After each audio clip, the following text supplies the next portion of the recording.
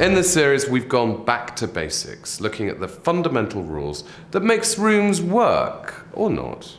And those rules are there for you to use at home, for you to get the interior design scheme you've always wanted, saving you a lot of hassle, a lot of worry, and ultimately a lot of money.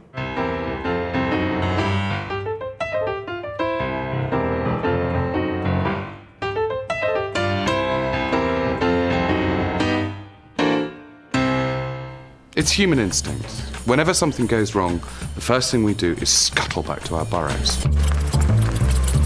In a busy, stressful life full of responsibilities, the home is the only place that we have where we can exercise complete control. This program is all about the things that make a house a home. In just about every room, there's an extremely fine line between chaos and order. And it's that final lap of interior design, that moment when you move your stuff back into the room, the stuff you use every day, or the stuff that means something to you, that's when it always seems to go wrong. One of the first things you need to consider is where to put your furniture. In our design laboratory here, in a secret and very remote location, we've recreated the average British room. Small and rather unlovely, isn't it?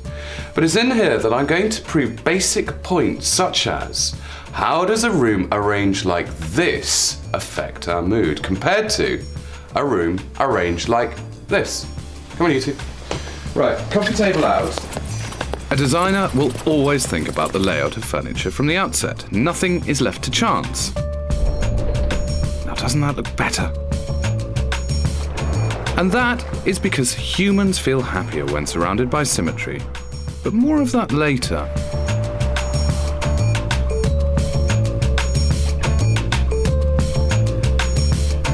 The second aspect to consider is display. I'm going to show you a few hard and fast golden rules that makes the art of showing off your bits and bobs and your nicks and knacks as successful and painless as possible.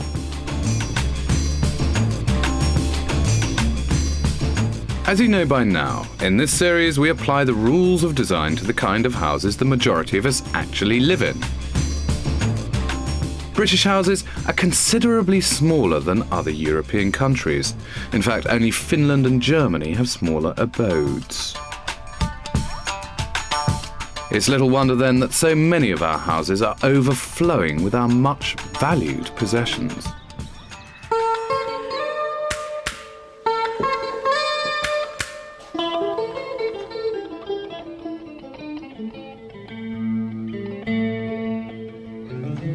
This entire house is a, well, treasure trove. It's simply overflowing with toys, personal keepsakes, and things picked up from around the world.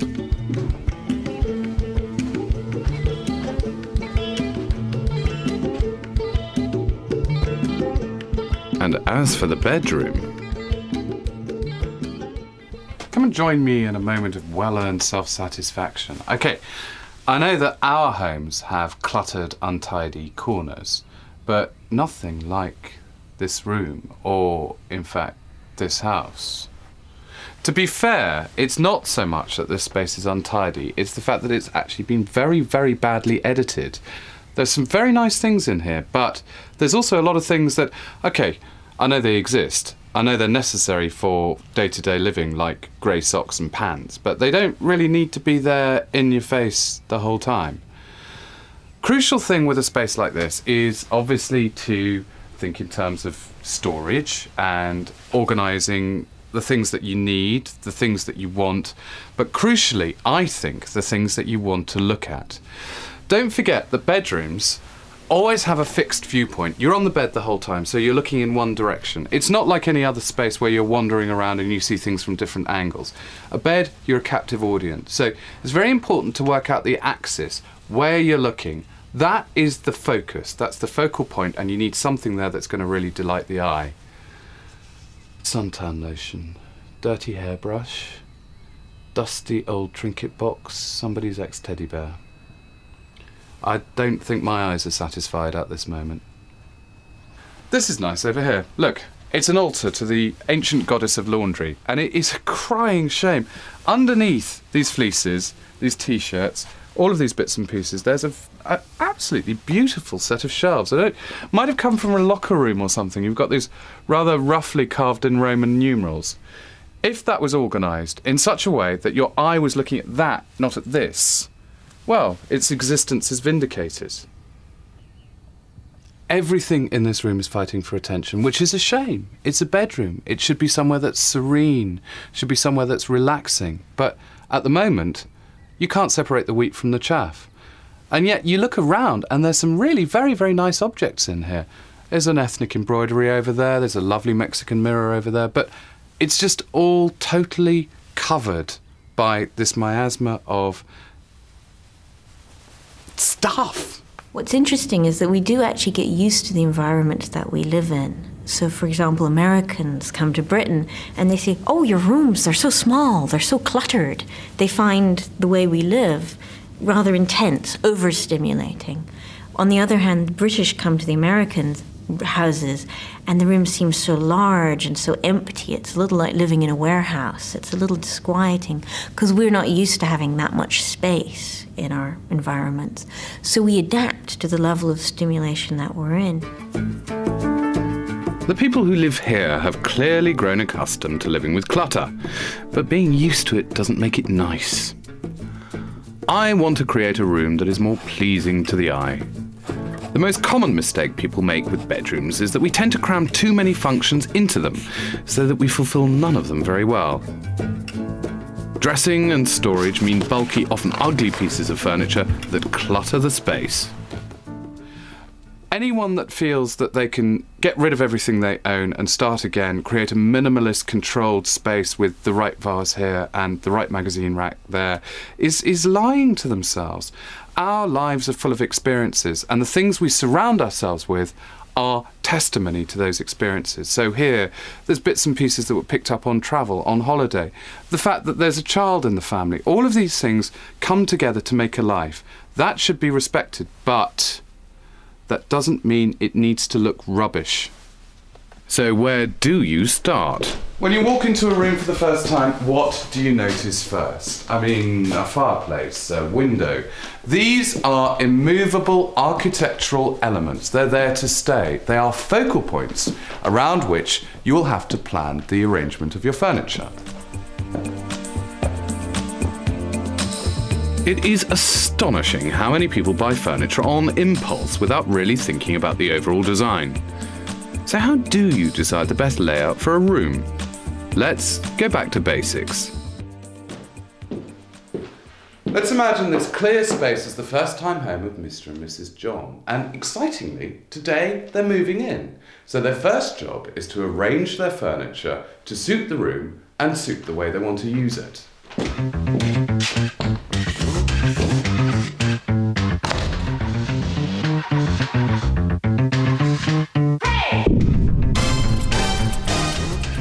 To their own devices, completely unguided, it's going to be interesting to see what our Mr. and Mrs. John do.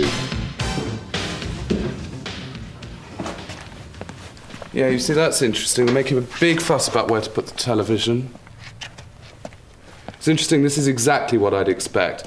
People just go into a room and move the furniture around in a very, very willy nilly fashion. Um, and I bet you, by the time that's finished, that will actually be changed again in a couple of months as some kind of furniture therapy. Not, I think, to get it right, but simply just as a change for change's sake. They should have thought about it beforehand.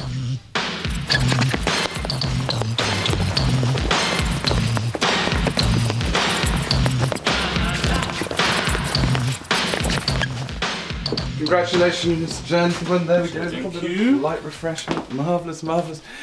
Now, obviously, Mr. and Mrs. John are a slightly unconventional couple, although they have made the most basic, and I'm afraid to say the most conventional mistake in terms of laying out the furniture.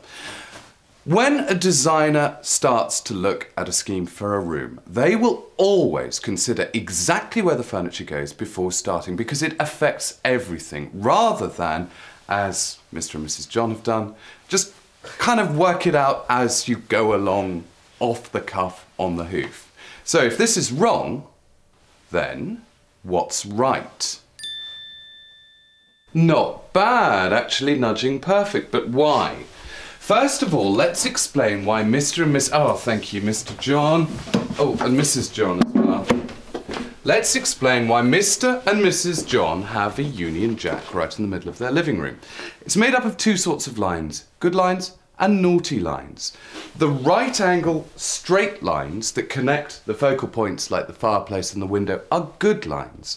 The diagonal lines going from corner to corner are very, very naughty lines. And unfortunately, Mr. and Mrs. John decided to arrange all of their furniture around the naughty lines.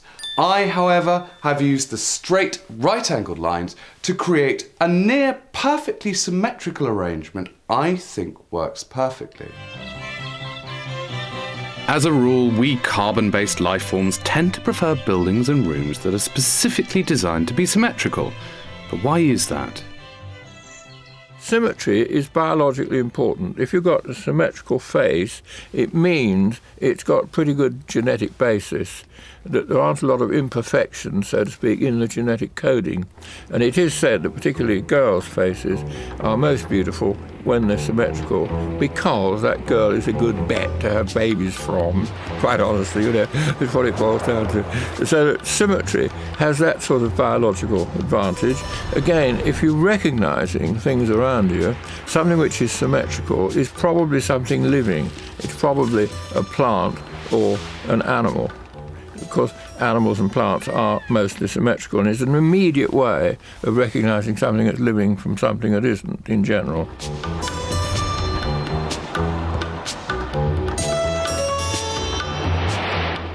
Faces are probably the most important environmental stimulus we have, recognizing expressions, recognizing people, and a huge amount of our brain, a huge amount of the architecture of our brain is designed to process faces.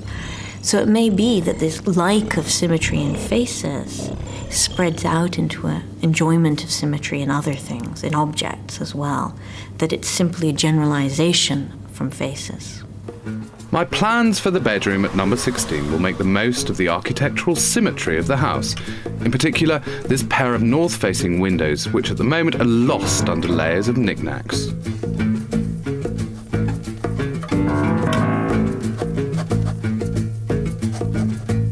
Let's face it, I just need to clear this clutter. Hello. Quite fancy this room now. It's amazing what changes can be effected with the simplest of interior design techniques like tidying up. You see, without all that eye catching distraction of all those bits and pieces, suddenly exposed, in its full glory, a pair of symmetrically balanced windows, and that will establish this concept of framework for the room. In the hands of a stonkingly brilliant architect like Charles Rennie Mackintosh, the furniture and finishing touches of houses like this were considered from the very outset. Now, I know I have already mentioned the importance of focal points, but they are important. The eye is constantly searching for stimulation, and focal points provide a point of interest for the eye to settle on and explore.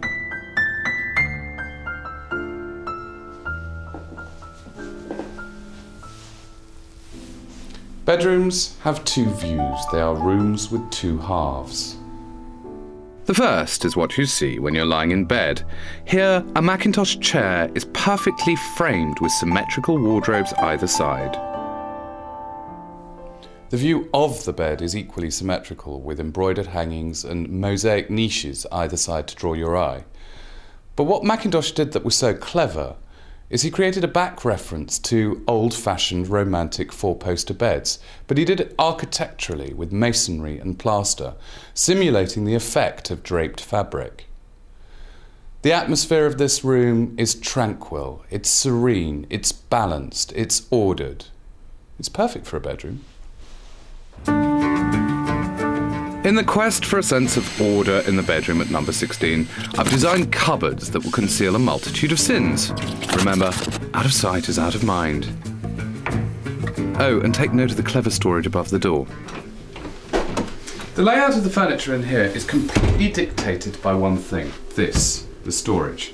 I could not use storage on any other wall without it fouling the windows.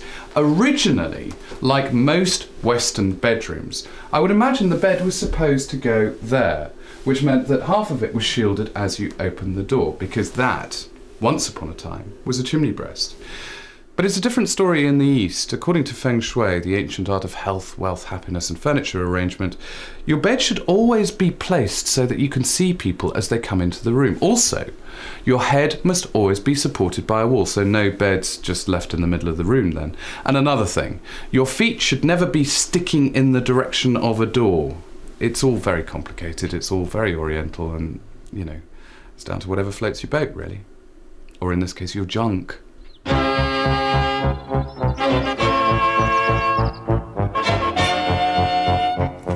Traditionally, the fireplace was always the focal point around which you would arrange your furniture. But nowadays, this often competes with the television for centre stage. When television first became widely available, nobody tried to conceal the fact they had one. In fact, quite the reverse.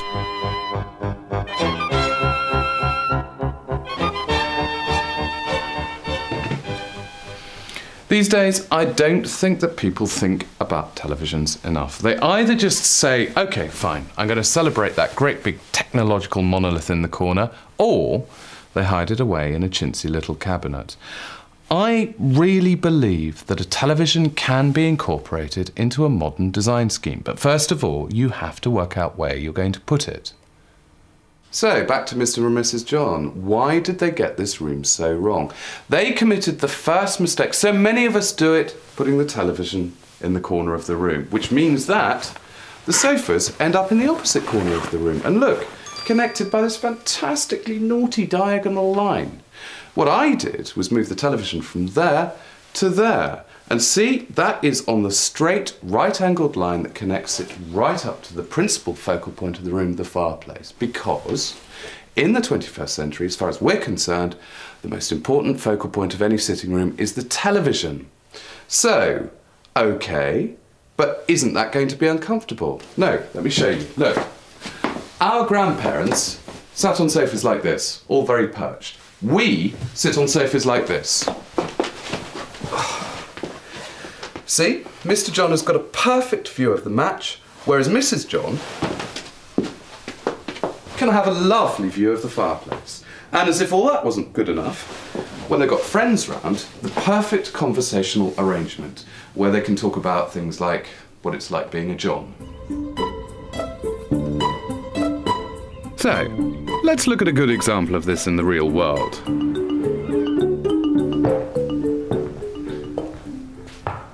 This is an extremely good example of a balanced living room, a room where everything is considered right from the very beginning. Even the last minute details are part of the scheme.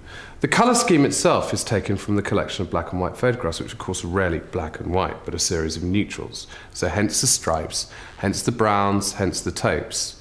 What I find fascinating is the slight subversion of the rule of good and naughty lines. We've got a straightforward axis that goes right the way through the windows out to the river. But then, so that that view can be enjoyed at the same time as television, television's been squeezed in on a technically speaking slightly naughty diagonal line in the corner. But it works because on the other side, it's balanced by a black sofa. So few people actually realize that a black television screen is something that can be used to the benefit of a space, as long as it's considered along with all the elements. And in fact, this room also shows that modern technology, televisions, hi fis, in my case, wind up gramophones, can and should be incorporated into a scheme. In fact, the column speakers either side of the window frame the view. And what a view! So it's about balance, it's about order, it's about conceiving and considering the room as a whole, even down to the finishing touches.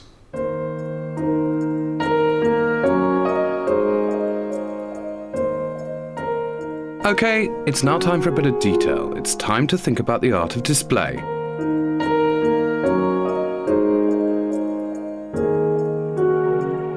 Remember, carefully coordinated arrangements of objects can add character and individuality to a room.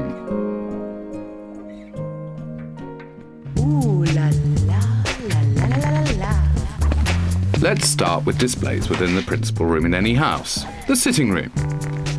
First thing you need to consider is eye line. The arrangement above the fireplace in here is designed to catch your eye when you walk in. However, the arrangement also needs to work from your seated eye line. I think the arrangement above this fireplace does its job perfectly, but what is the secret of its success? Is there perhaps science at work here? The objective is quite straightforward to increase the height of the fireplace by one third to balance the height of the ceiling, and also to give the eye something pleasing to catch on in a standing viewpoint. So, why are these lines here? This box at the top is the missing third third of the fireplace. But why a third? The ancient Greeks were very specific about this. They believed that perfection was measured in thirds, and it still colours our judgment today.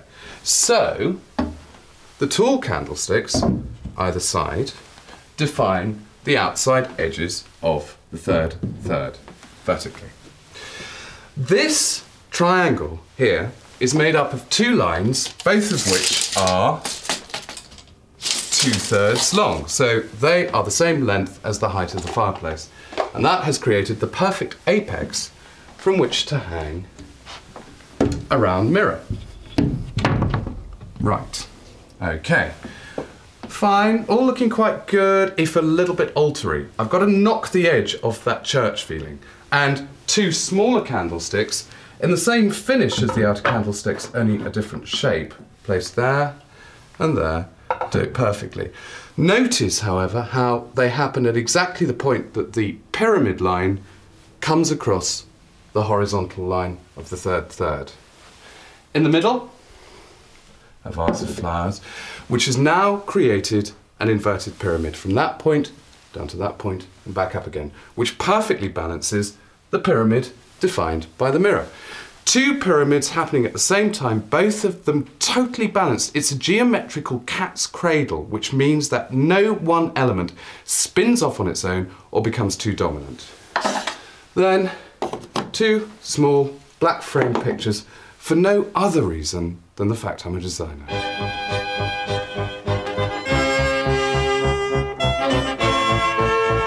There are other design rules relating to scale and proportion that go way back in time.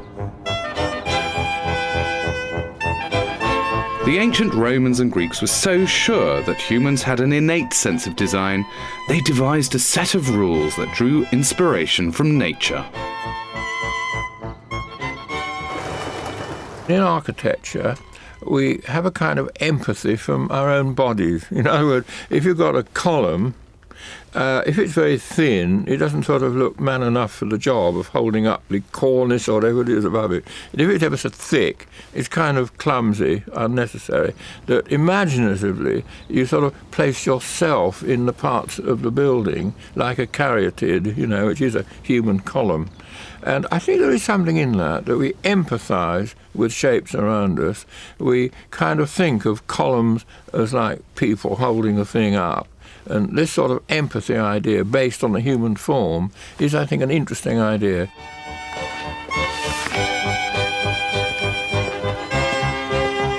The golden section was a key principle in architecture, relating the proportion of structures to those of the ideal human body. This treasure of geometry has intrigued and inspired architects, designers, and artists for centuries. Believe it or not, these rules can be applied to everyday objects in your front room. Even when faced with a relatively straightforward task like where to hang this wonderful painting. Obviously, there it doesn't work above that small, insignificant piece of furniture. The effect is top heavy. Whereas that, now, it's balanced, it's harmonious, it's really quite Leonardo. So, what are the cardinal rules that govern displaying your objects? There's actually one big granddaddy rule in charge of them all, which I suppose makes it a papal rule, which is you need to establish a working relationship between the objects that you're displaying. Scale is important when displaying objects. Generally, an object needs to be framed by its surroundings, so big objects will look better in big rooms.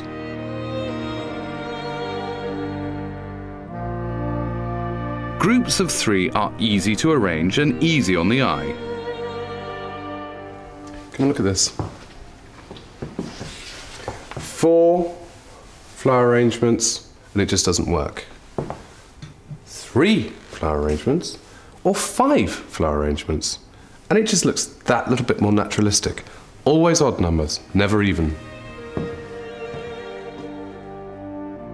Many of us have lots of small objects, often with sentimental value. But what do you do with them? They're so tiny. How do you display them? And here, the solution has been to form a collection around them. Not necessarily things that are the same, but things that look good together.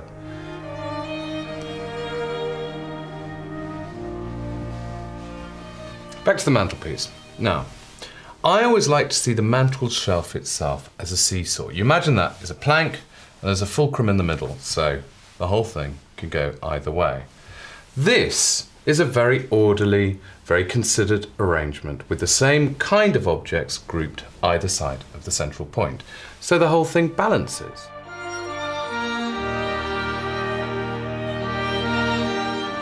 When Mies van der Rohe said less is more, he wasn't actually referring to display, but the same rule does apply.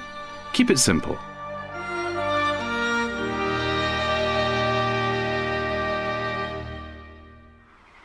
Back at number 16, work is complete. This room was crying out for help, screaming for balance and harmony. Remember, we need domestic spaces that allow us to recharge and relax. I've chosen the draped fabric hanging above the bed because it will serve as the principal focal point when you enter the room. I wanted the view from the bed to be as calm and uncluttered as possible. Think of those moments before you go to sleep, winding down and reflecting on the day.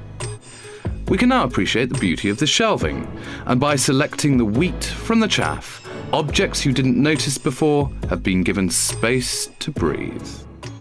Now, I don't want you to start thinking that this is a triumph of storage over substance. It's not as easy as taking all the clutter and simply dumping it into the new fitted wardrobes, although, of course, that does help. This room is about careful editing. It's about maximizing the things that delight the eye and minimizing the things that don't. There's a lot of symmetry in here, which is great. It's very tranquil. But where we can't achieve symmetry, we have at least created balance. And if nothing else, this is about order out of chaos. To find out more about how to impose balance and harmony within your home, log on to our website at www.bbc.co.uk/homes. As you may have gathered, no element of interior design can be seen in isolation. They're all interdependent. Next week, I'll show you how to blend various aspects of design to match your personality.